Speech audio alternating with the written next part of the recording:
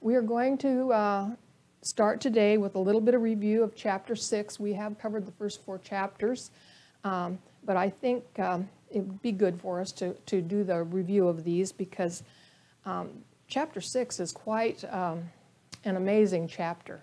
There's so much in there uh, that we maybe don't understand, and we just ask God's wisdom to help us search it out. And each of us has to do that on, our, on her own um, because um, we, can't, uh, we can't just trust what we hear. We have to uh, be like a Berean and, and search out the scriptures. So I'm going to read, and you read, follow along with me on chapter 6, the first four chapters.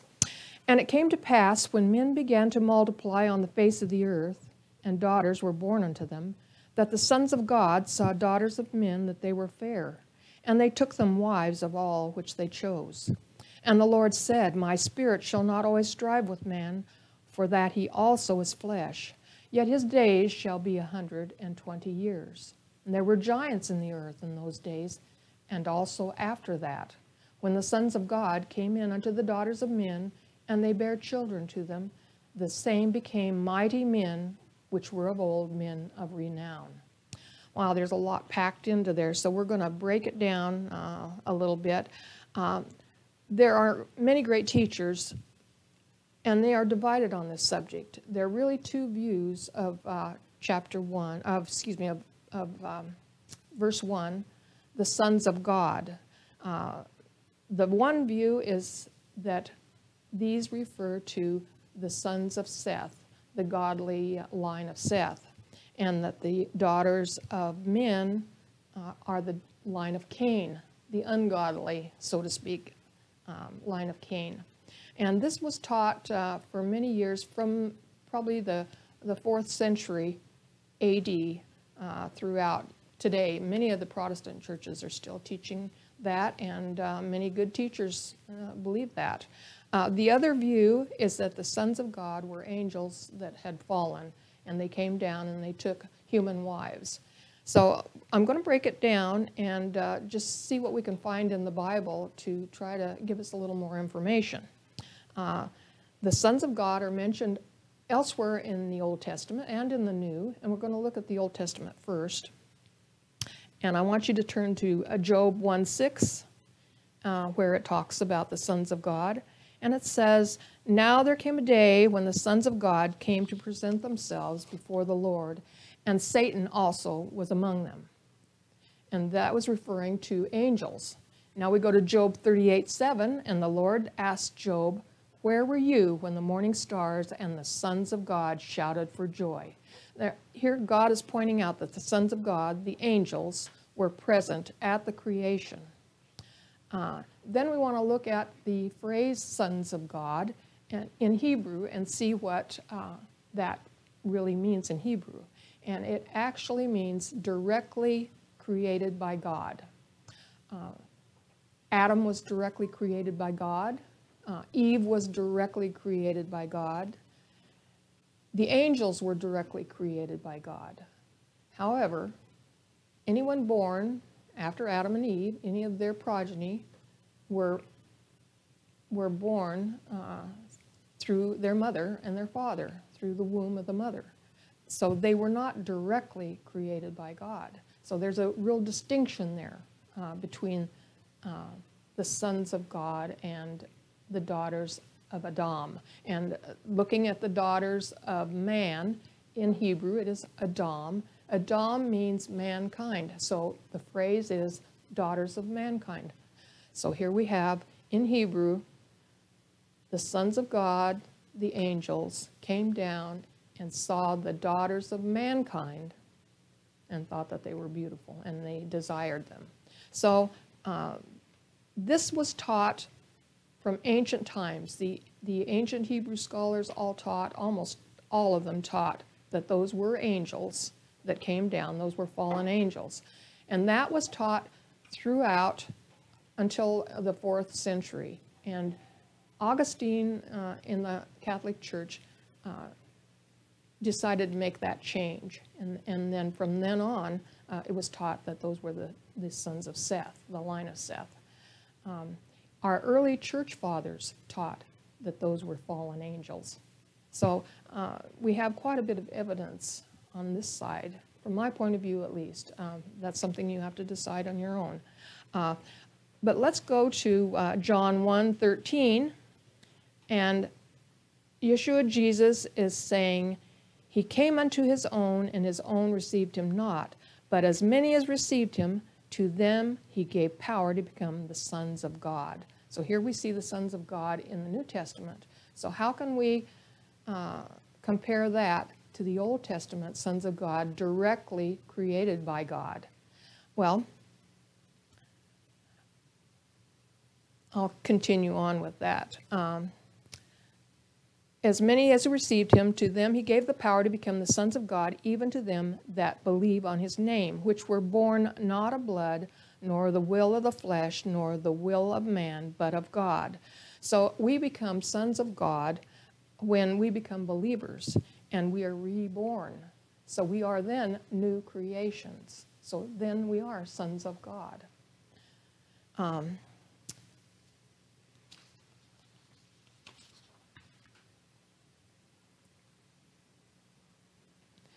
We also can go to uh, the ancient uh, history books and uh, apocryphal books that uh, actually the Book of Enoch was one that was found in the Dead Sea Scrolls in 1947. And uh, that particular book was written in 3rd century BC. And it also includes a lot of, um, a lot of history about the angels, um, saying that those were fallen angels. And uh, we can we can consider that not, uh, not Holy Scripture, but as history. And it was uh, quoted by uh, Yeshua's brother, half brother, uh, Jude. And uh, I think if you can go to Jude 6, uh, it refers to that. Now, there's always a question asked if angels don't marry, how could they father children on earth? Um, and that comes from Matthew 22 30, uh, where Jesus said, For in the resurrection they shall neither marry nor are given in marriage, but as are the angels of heaven. So let's go back and see uh, what we can learn about angels. And uh, we understand that they are spirit beings, but we also understand that they can take the form of man.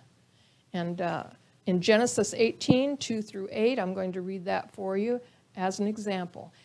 He, meaning Abraham, lifted up his eyes and looked, and lo, three men stood by him, and when he saw them, he ran to meet them from the tent door, and he bowed himself forward the ground, and he said, My Lord, if now I have found favor in thy sight, pass not away, I pray thee, from thy servant. Let a little water, I pray you, be fetched, and wash your feet, and rest yourselves under the tree. And I will fetch you a morsel of bread, and comfort ye your hearts. After that you shall pass on, for therefore are you come to your servant. And they said, So do as you've said. And Abraham hastened into the tent unto Sarah and said, Make ready quickly three measures of fine meal, knead it, and make cakes upon the hearth. And Abraham ran to the herd and fetched a calf, tender and good, and gave it to a young man, and he hasted to, to dress it. And he took butter and milk and the calf which he dressed and set them, and he stood by them under the tree, and they did eat. And so here we see uh, he received them as men, and they were eating.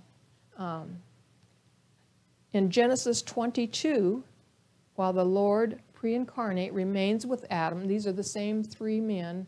We understand that one was, was Jesus Christ pre incarnate and the other two men set out for Sodom. And they had a purpose to go to Sodom. And then when we go on to Genesis 19, uh, 1 through 16, these two men are now called angels. And it says that Lot took them into his home for rest, nourishment. They did eat. And uh, I'm sure he took them in for protection as we uh, read through the next few verses. The men, young and old, from all over the city of Sodom were attracted to them and wanted to know them. And of course, we understand the word know um, means to have uh, relations with them. And because of the city's great sin, it was marked for destruction. And in the early morning, as we go to verse 16, while Lot lingered, the men laid hold of, upon his hand and upon the hand of his wife and upon the hands of his two daughters. And the Lord being merciful to him, and they brought him forth and they set him without the city. So here we see they looked like men, they ate like men, they drank like men, and they grabbed onto the hands of Lot and his family, just as a man would. So now we want to go to Hebrews 13:2 and see what Hebrews has to say. And it says, "Be not forgetful to entertain strangers, for thereby some have entertained angels unaware." So angels can appear to us as men, and we don't even realize the difference. But could they have fathered children, as indicated in Genesis verse 4? If we go to Jude 6, as I mentioned before, where it says, The angels kept not their first estate, but left their own habitation, he hath reserved in everlasting chains unto the judgment of that great day. And here he's referring to those angels from all indications. Uh, and here it says, they left their own habitation. Now, that word in Greek is oikaterion, and it's only used twice in the Old Testament, once here and once in 2 Corinthians, uh, 2 Corinthians 5 2. Now, the word oikaterion means heavenly body, and it means that these angels were somehow able to leave their spiritual bodies and take on the form of a man. They left their oikaterion and they became as men. Now, in 2 Corinthians, this reinforces the meaning of oikaterion, and it says, We as believers groan in our desire to be clothed with our heavenly bodies. And there the word is oikaterion again. Here we have our old tents on now, our old habitation, but we are so desiring to have that new oikaterion, that heavenly body, which the, the angels in their heavenly bodies left. And ours won't be like theirs, but ours will be our own heavenly bodies. So here we kind of had an understanding. We can't really know how this all worked, how, you know, all the different parts of it, but it seems to indicate that they were able to do that. And so um, it just kind of reinforces this whole idea that these are the sons of God, that the, the fallen angels did come down. Um, now I want to take us to verse 4 which uh, begins with there were giants in the earth in those days and also after that. And when we see the phrase also after that, this refers to after the flood. So we understand there were giants pre flood, and somehow there were giants after the flood. And we know this because the Bible continues on in Genesis and in Leviticus and, and several other places uh, where it refers to giants. And then we're going to talk about that in a minute. Um, but, you know, we have to think about it. So many people think, well, giants were just myth. Giants were just angel, uh, excuse me, just uh, fairy tales. You know, we all grew up listening to people telling us fairy tales about things like that. But usually there's a little seed of truth, even to a fairy tale. And so uh, we have to consider that. So let's see what evidence we have of angels. Um, first, let's uh, look at the word uh, giants in verse 4. In Hebrew, the word is Nephilim. Now, Nephilim in Hebrew means fallen ones. So, uh, uh when it was translated into Greek, they, they used the word gigantus. And the word gigantus we think of as giant. And it's come to mean that because they were giant, they were big. But the word actually means earthborn in Greek. So we have Nephilim, the fallen ones, and then it was translated gigantus, the earthborn. So we're kind of getting that connection there a little bit. And then it goes on to say, um, when the sons of God came unto the daughters of men and they bare children to them. Now that's, that is emphasizing what, they, what was just said about the giants. So often in the Bible, God will give you a statement and then he will reinforce it maybe in slightly different words so you can have a complete understanding. If you don't understand the first one, you'll understand the second part. And so here he's got that in the same section there where he's talking about the daughters of men and they bear children to them. The same became mighty men of old, men of renown. And the word mighty men uh, in Greek is called titans. And we're all familiar with the word titans. We, our children, our grandchildren, and we've grown up with stories of the titans in the, the Greek myths, so-called, you know, the, the, the gods, little g, that came down and had relations with women, with human women. And so this just fits right in. Uh, they have turned those into their myths. They believed those were their gods. And so we've got that evidence. Now, um, the mighty men of renown. Uh, so we've covered that a little bit. Uh, some of the mighty men of renown that we would recognize would be Hercules and Atlas. Those two were, the, were considered titans. And we, we see that all the time in movies and, and uh, videos and games. Uh, so it's being promoted now uh, to our new generations that are coming out. And um, they just love that type of thing, don't they? So it's, it's easy to see how, how it, they can be taken over by it. Um, now, as far as evidence of the, uh, of the um,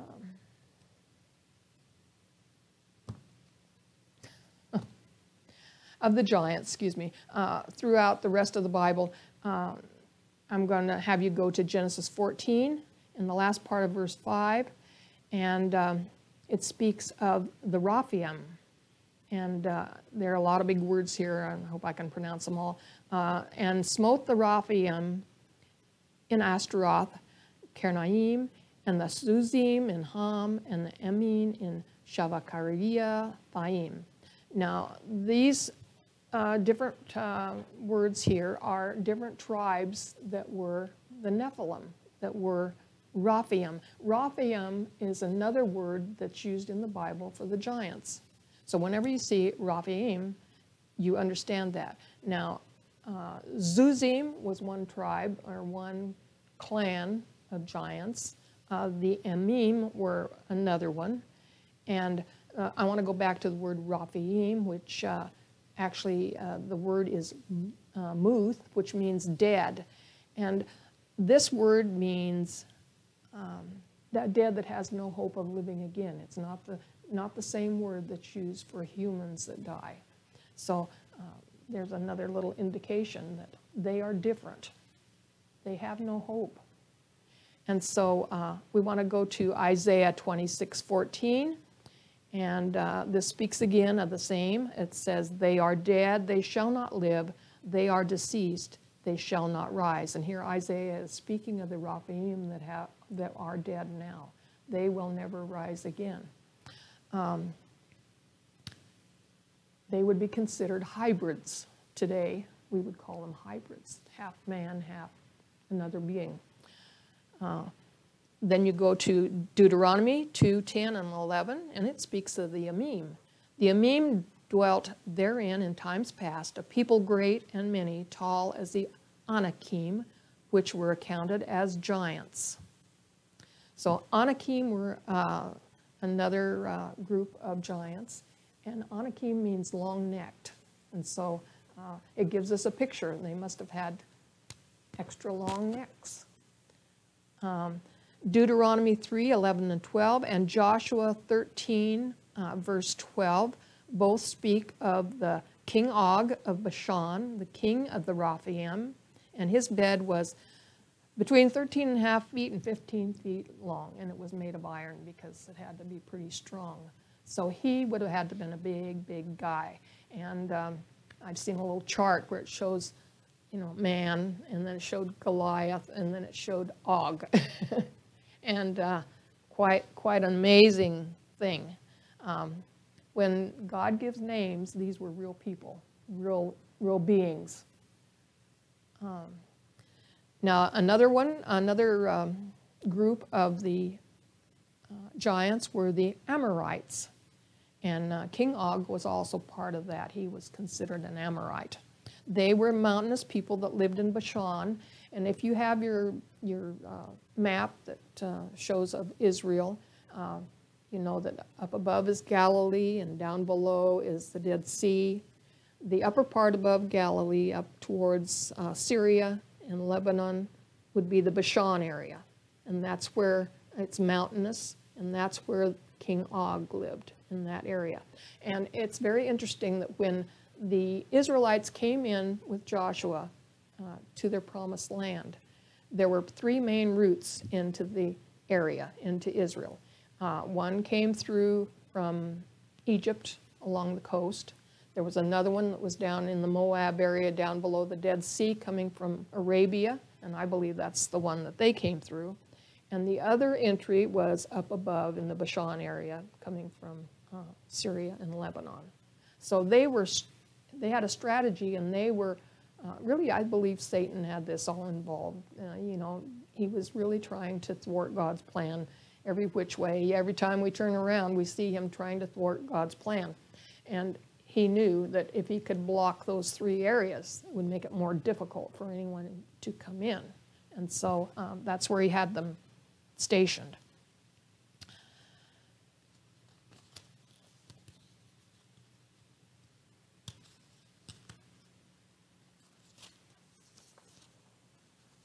Uh, another of the groups of people were the Amalekites that we read about, and those are in Exodus uh, 17:8. And uh, Amalekite means serpent-like demons, and it uh, gives a connotation that they were vampire-like. So uh, very strange people. Now there are um, many people that believe that uh, a lot of the giants were cannibalistic there's some indication in the Bible it, it, it kind of gives a feeling that they might be. You know, it could be in, interpreted uh, as a allegory, but it, it could be very possibly be true. So uh, we don't know, but um, they were terrible. The Emim actually means terrible ones. Uh, they, uh, they just brought terror and horror to anyone that was around them. Um, the Zuzim were restless roamers, and they lived east of the Jordan River, um, where, where Jordan would be now. And uh, they were, uh, they never really settled. They were just always marauding, going around. Uh, the Anakim I mentioned before, the long necks, they are mentioned in Numbers 13, 32, and 33, and in Joshua 15, 13, and 14. Then we come to the Gittites. Now, the Gittites were uh, from Gath, and you might recognize Gath because uh, we all know Goliath, and he was from Gath. So he was part of this group. And um, that comes in 2 Samuel 21 20. Uh, he had, they listed four other giants, and most people believe those were his brothers. That's why uh, David picked up five stones, because he was going to take care of the other four brothers if he had to also.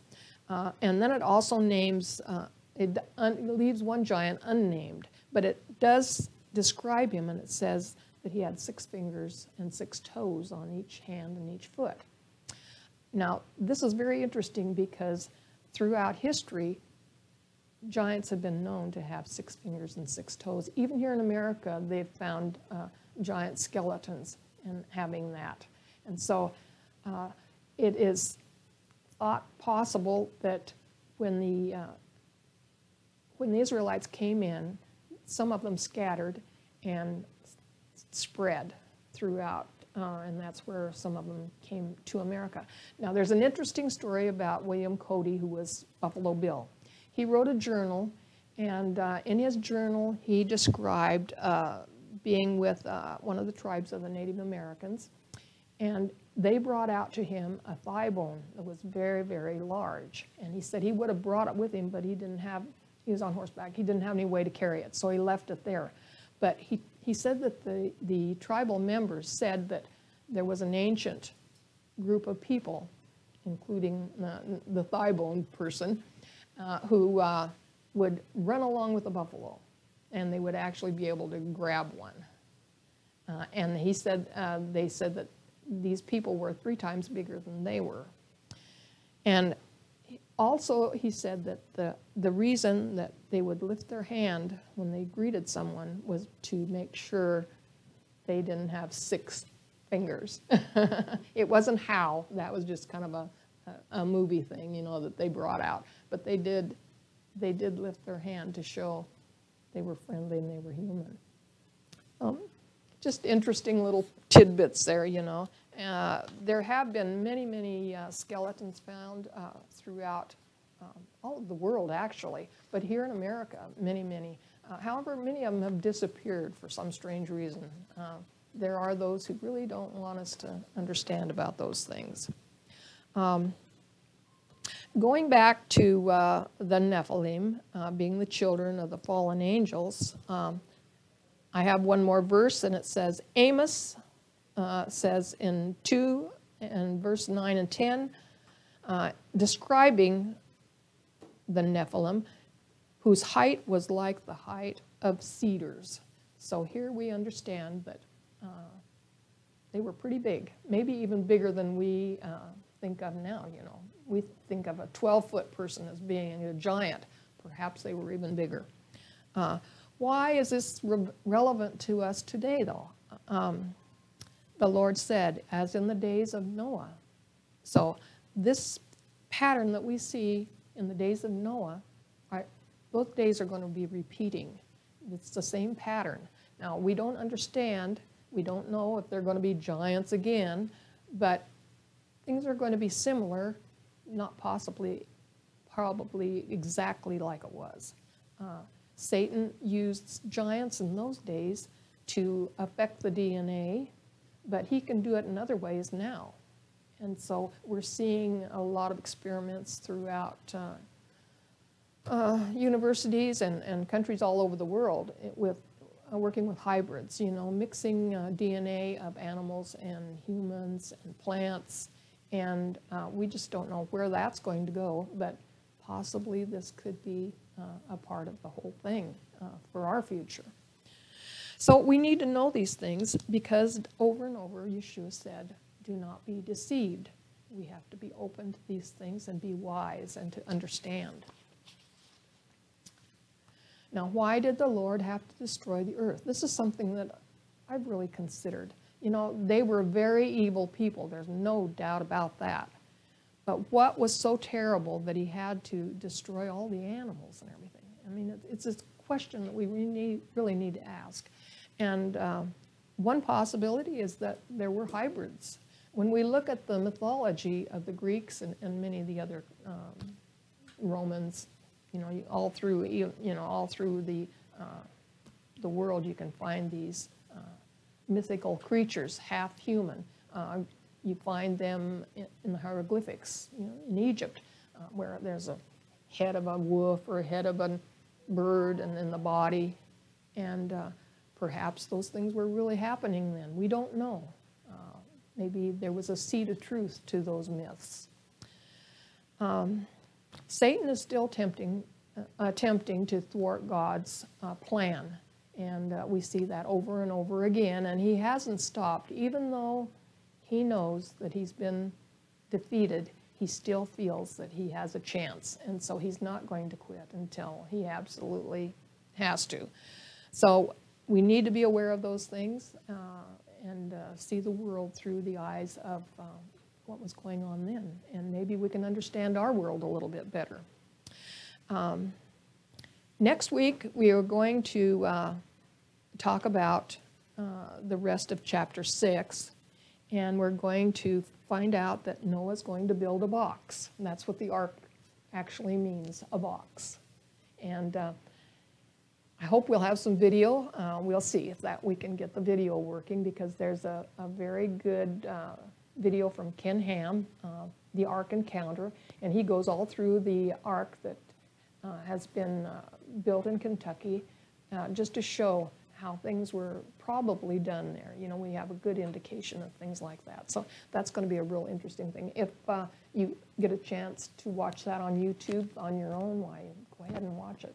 It lasts about 30 minutes, so it's a, be a really good thing. And if you have any children, that would be a really good thing to be uh, showing them. Now, if you want notes on uh, this chapter that we've started, or if you want uh, notes on the previous chapters, the Calvary Chapel is going to be putting a little box outside near the front doors, and uh, they will be available for you to uh, come and, and get them there. So we'll have them for you. If you have any questions or any comments, uh, I'd be happy to uh, deal with those. Um, I just want everyone to remember that um, during those last days, God was busy. He was calling out to his people for 120 years. In chapter 3, it says, uh, The days shall be 120. And uh, I've come to believe that he's referring there to the time period that, that uh, Noah was building.